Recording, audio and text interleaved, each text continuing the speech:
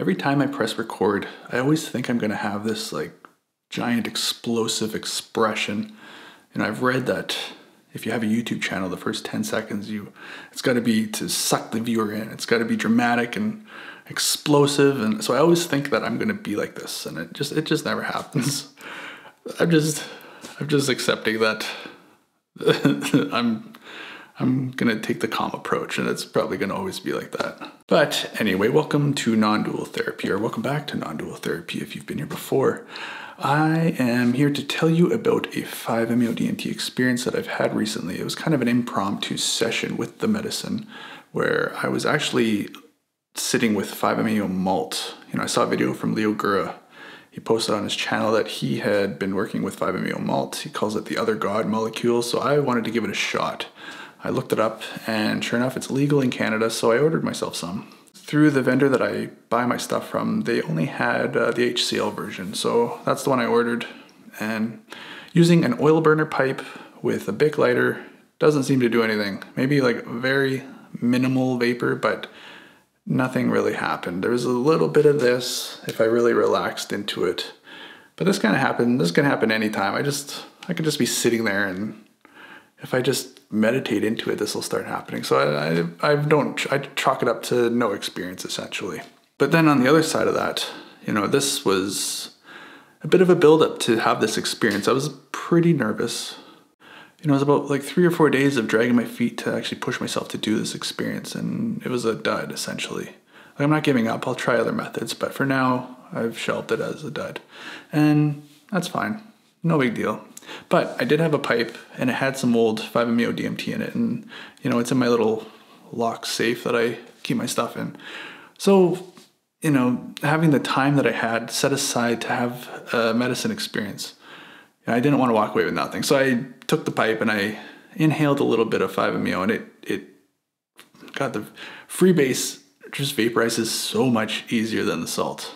I was a little cautious. I didn't know if I mixing the 5-MeO malt, because I did inhale some, there was a little bit of vapor that I saw, but I didn't know if mixing them would be harmful to me. So, you know, I was very cautious. I took a very tiny amount and immediately I could tell that like, well, this is 5-MeO. So it's like, okay, I don't feel, I don't feel any negative effects. So then I took a bigger hit. And usually I take like a massive inhale, like I fill my lungs up as full as I can and then it's just an explosion into infinity. But this time it wasn't like that. I took a a medium to low size hit. I, it wasn't measured. Um, I have lots of experience of doing that. I do not recommend doing that, but you know, I, I took a small enough hit, and the the experience reflected the amount of medicine that I took. And instead of this explosion into infinity, which I'm used to, I could kind of see the uh, infinity as like a doorway. And what's funny enough is that the very first time I ever smoked 5-MeO, or the very first time I remember smoking it, you know, I like to describe it like it was like the glass elevator in Willy Wonka, where I was just flying straight up at hyper speed. I mean, Willy Wonka doesn't go that fast, but I'm going through that glass elevator, and then there's this explosion into the other side. But here it was it was presented as a door, and you know, I could see the door. And then all these thoughts started to arise. And these thoughts I've had throughout the week. Just kind of thinking about, you know, the YouTube channel and my journey, my path. It's all kind of like merging into this point. Yeah, so I was having so I was having some thoughts about the channel. And you know, I'm getting on now that I'm back doing YouTube again, I'm kind of like doing the same stuff I was doing before where you know, I take some form of DMT and then I show myself doing this, which which I will be doing in this video. I I understand the irony here, but I was having these thoughts of like, you know, I just don't want to be doing this. This is like it's getting old, it's getting repetitive, and uh, you know, I've shared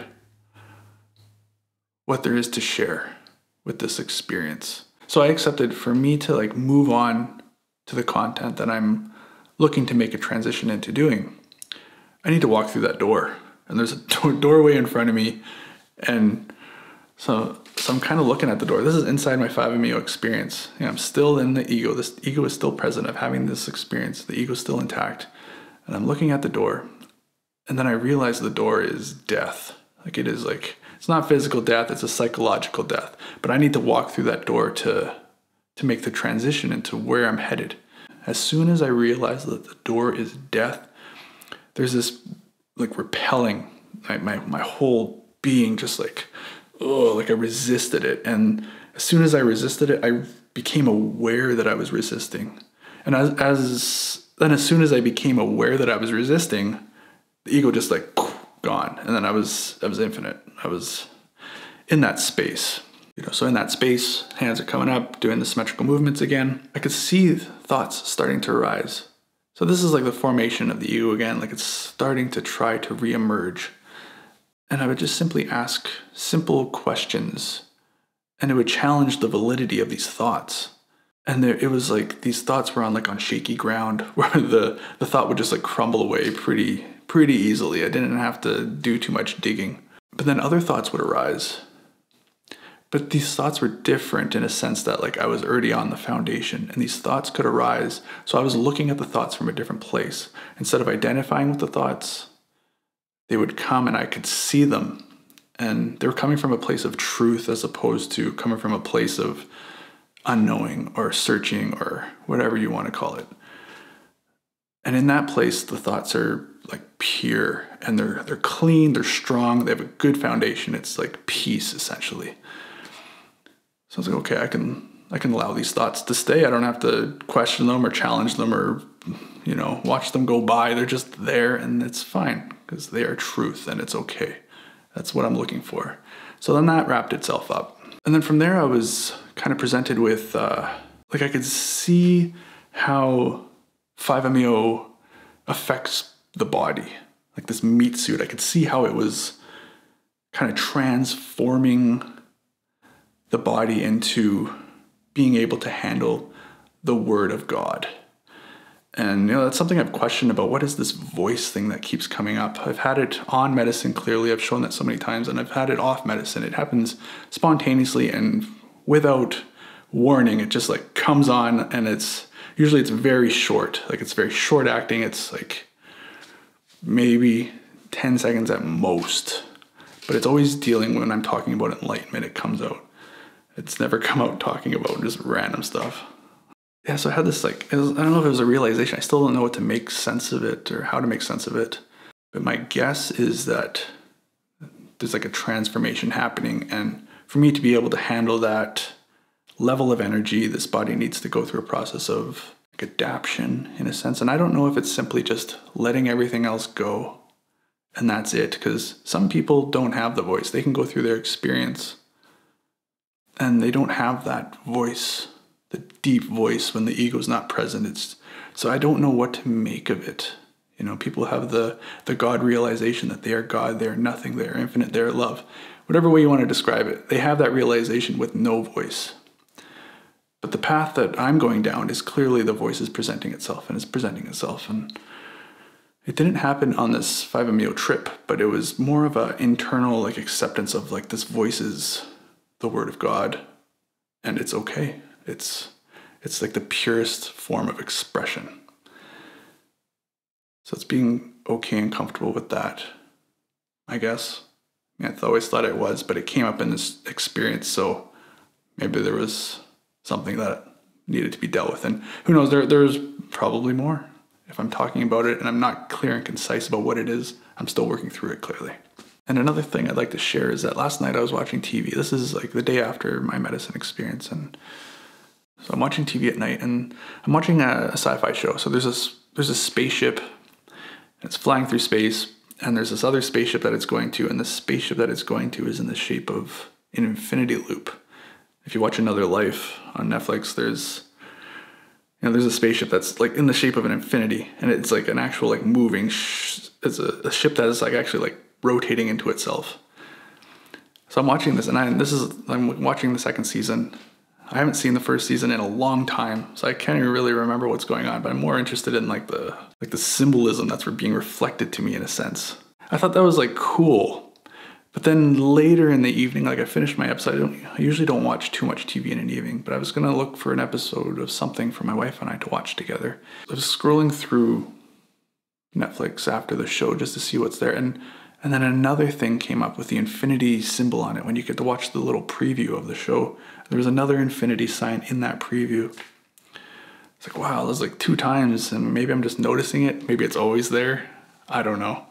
But Then I, I, I and so then from there, I didn't end up watching anything. And I turned the TV off. My wife came downstairs and she was watching her show. And I was just on my phone. And we were sitting, I was sitting there for 20 minutes. She's watching her show. And the one time I look up from my phone, there's an infinity loop in the background of where this person was standing. Like it was like a symbol for a business or something. And there was an infinity loop on a sticker in the background. It's like, man, I can't get away from it. It's just like, it's just right there. It's like staring me in the face. So I'm going into the next experience I have with 5MEO to like, not just like walk through the door, but to like confront the door so it doesn't evaporate with fear as soon as I realize what it is. But I want to be able to gracefully walk through the door and be able to turn around and realize there is no door. Because that's ultimately what happens. So if I can do that, I can move on to making other content and not doing the same old, same old. You know, it's easier said than done though, but uh, there's no, it's all playing out. It's all good. If you have made it this far, please give this video a thumbs up. Really appreciate it. Thanks for watching, and I will see you on the next one.